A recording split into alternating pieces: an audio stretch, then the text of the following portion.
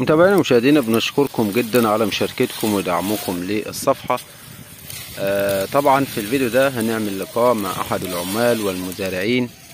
هنشوف طبعا أسعار الفول الصويا وسعر تبن الفول الصويا وأفضل طريقة لحصاد الفول الصويا. وهنشوف طبعا الفدان آه، كم كم عامل آه، يحصده الفدان. وهنشوف الأسعار وهنشوف كل التفاصيل. فعايزك تتابع معايا الفيديو ده بالتفصيل هتستفاد منه جدا جدا إن شاء الله.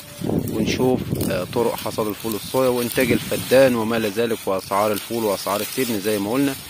أهم حاجة يعني أنت حاول تفيد غيرك بالفيديو. يا رب دايما نقدم لكم محتوى يفيدكم وينال إعجابكم. نتابع الفيديو مع بعضينا ونشوف كل التفاصيل. طبعا إحنا متابعين معاكم من بداية زراعة الفول الصويا ودلوقتي دخلنا في موسم حصاد الفول الصويا. والصفحة عليها فيديوهات هامة جدا طرق زراعة البطاطس والمحاصيل الزراعية جميعا. الله ينور يا حاج إبراهيم. عاملين الوقت؟ الله في نعمة الحمد لله. طبعا حش الفول بالمحاشات أحسن آه طبعا.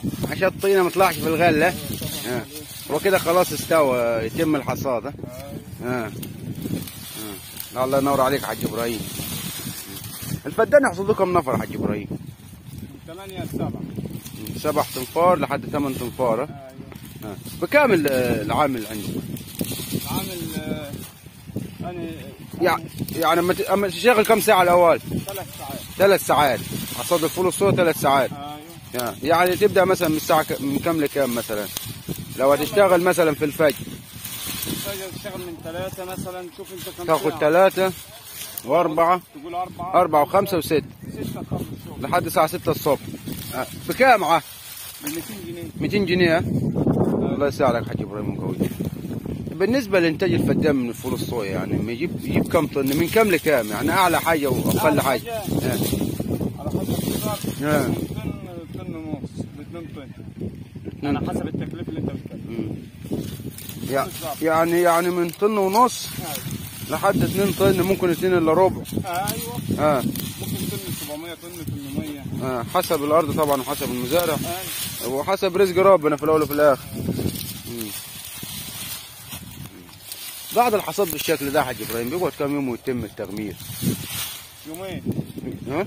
يومين؟ يومين زرعة زي دي آه. تقعد يومين بالظبط. زرع زي دي تقعد يومين. يعني هتقعد النهارده ما تحسبلاش آه النهارده. آه, هتقعد آه. النهارده معاك أنا حاج إبراهيم. هاي. الثلاث ولا الاثنين؟ النهارده ثلاث هتقعد الأربع. والخميس. ويوم الجمعة بإذن الله تدرس في الظهر آه. يوم الجمعة تدرس الظهر طب لا لو جاش يقدر شوية يا حاج إبراهيم. يقعد أربع أيام في الأرض. يقعد أربع أيام في الأرض. و... طيب وبعد كده يتغمر ها؟ يتغمر. وبعد التغمير يقعد كم يوم؟ يومين. يومين. هذا طب ده طبعا يا جماعة بالنسبة يعني بعد الحصاد. طب أنا لو هدرس يا حاج إبراهيم هدرس متى بالظبط؟ من الساعة 10 ورايح. من الساعة 10 الصبح ورايح ها؟ بكام الفدان الجرار بيدرس. بالفدان ولا بالساعة عندكم هنا من فدان ها. بكام الفدان؟ الجرات بكام يا حاج إبراهيم؟ ضلت ونص. والفدان ب 1000 ونص للجرار ها؟ طب والعامل؟ يعني لما ها. ياخد 200 دريسه بس للفد 250. 200 من 200 لحد 250 آه. لدارس الفدان. آه. بالنسبة للتبن يا حاج إبراهيم بكام التبن بتاع الصويا عشان الناس بتسال كتير على التبن التبن من 100 ل 110 الجرات أيوه. مش كان ب 80 و70 اسمها رفع والله. يعني الجرات من 100 من 110 ل 110 يعني الفدان كده هيخش في يمكن في 2000 وشوية. 2000 قول وربع 2000 قول له 2400 2400 للفدان تبني الفول الصويا. امم طب بالنسبة لأسعار الفول الصويا يا حاج إبراهيم النهارده آه، عاملة كام؟ الأسعار الناس خارجة آه. يعني كل الوقت بيروح الفول. اللي هو اللي عليه بس آه، يعني فلوس هو اللي عليه ها.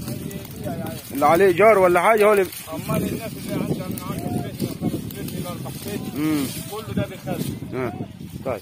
آه، بالنسبة ل... طب كام يعني السعر اللي ماشي النهارده؟ بالنسبة النهارده 3 3 9 2024 عشان الأسعار ممكن تتغير فإحنا بنعرض لك بالتاريخ جماعة 21 300 و400 21 300 21 400 سعر طن الفول الصويا.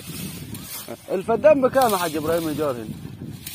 من 45 ل 40000 40000 لحد 45000 أيوه. ده غالي جو... غالي يا حاج إبراهيم.